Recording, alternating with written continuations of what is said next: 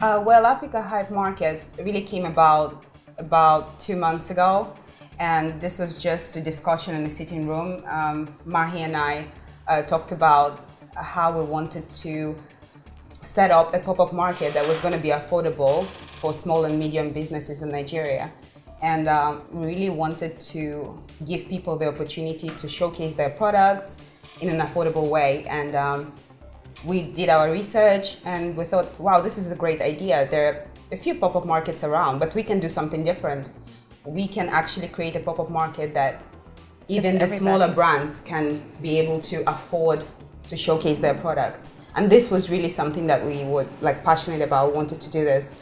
And um, that was the beginning of Africa Hype.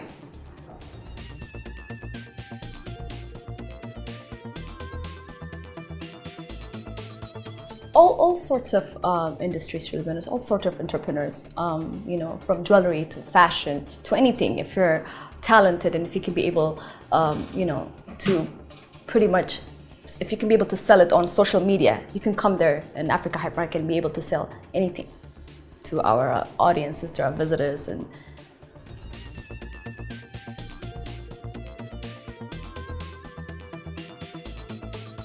see, the whole point of this pop-up market is to do that, to basically build these small SMEs, you know, to take uh, consumer market to uh, introduce their product, to meet people, to network, and then they could even get other opportunities from other big vendors. So getting the word out there, introducing their products that way, I think it should, you know, somehow, some way they'll, they'll get there in a way.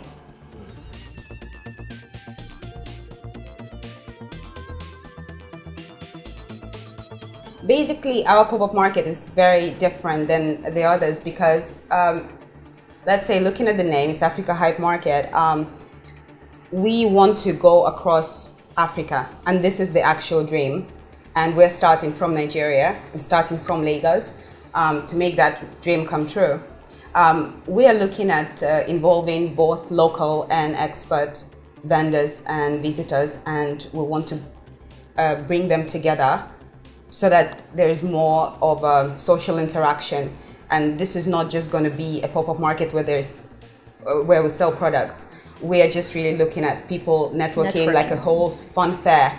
We want to make this more of like a festival type feeling. So that's where we have from fashion to food available. We're going to have a picnic type area set up where people can actually sit on the grass and enjoy drinks with their friends. And we have so many food um, and drink brands that people are going to enjoy themselves. We have a kids area and that is going to be a bouncy castle. And we're going to have a choo-choo express and uh, we're going to have a face painter.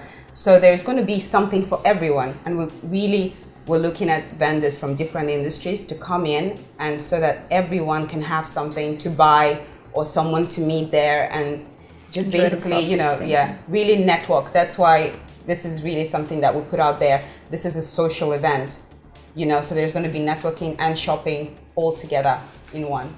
So there's a lot of exciting stuff. We have a lot of big brands and we have a lot of smaller brands. So in terms of, as uh, my partner said, bridging the gap, it's very surprising that for big brands, and this pop-up market trend didn't start here, bigger brands like LV and Co. outside this country, they have set up pop-up uh, stores and so here in Nigeria, what we've seen is that we've seen like big brands like Oriki, we've seen um, Star that's going to Radler showcasing and tasting their beer. Um, we're going to have Nature's Gentle Touch, which is a big hair brand. They're going to have a mobile hair clinic set up on the grounds, on the venue. And um, they're going to do a free consultation for people and also um, giving out vouchers worth 10,000 naira to 50 lucky people you know. Um, so it's great. I think um, Urban Fusion is going to have a food truck. There's like uh, even Tribe, which is a big brand. I love their clothing. So we feel like there are so many household names that you know that signed up, and there are so many startup businesses that I've never heard of, and they reached out and they said we want to be a part of this. Yeah. And so we are very excited to like be able to do this, you know. And to add to that, also we have a lot of um, expat vendors as well that actually use Ankara and um, leather products to make amazing products and they're selling out pretty well only on Instagram. So that makes it more exciting, yeah.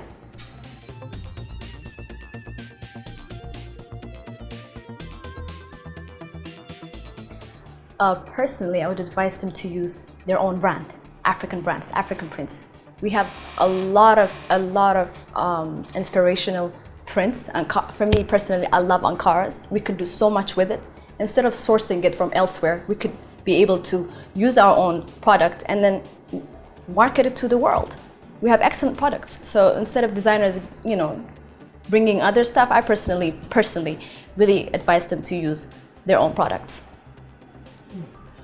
I would I would also advise I think just to add to that I would advise that you know uh, more of the big businesses uh, now uh, some of our you know um, upper society. I would like them to look into investing in the, the textile industry and really kind of developing that industry to the level where people can actually get the kind of fabrics they're looking for to really finish the product and so that we can get to that international um, stage. Because what we see we see a lot of tribal and ankara prints on the international runways. Other designers using it actually exactly. instead of our own and then but we're talking about like finishing and really just having everything put together so that we are on that level and standard where everyone around the world can buy our brands so I would encourage definitely more investment in the textile industry. Yeah, more trainings, more, as you said, the finishing part. And you will see all the expat vendors are using Ankara products or our local products.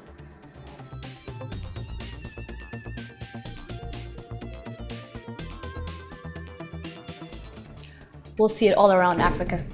We'll, be, we'll hope to be in every city in Africa, uh, either collaborating with uh, existing pop-up markets or having our own and touching every local SME uh, business. Um, how do you say it? Everywhere across Everywhere, Africa. pretty much. Yeah. yeah, for me, I think. Just to add to what you said, um, this is exactly what we see. We have looked at um, the next steps going into Accra and um, Ethiopia, where um, Mahi's from, as well, to um, and then step by step going across other countries um, we are looking at a very affordable way. So now that our stores are just 10,000 naira, we want to go to other cities and present that opportunity to other small and medium businesses. In affordable ways as well. Yeah, so we are looking into collaborations with other pop-up markets outside, um, especially in the cities that we're not very familiar with. We're looking at different kinds of um, collaborations uh, we can do in the future.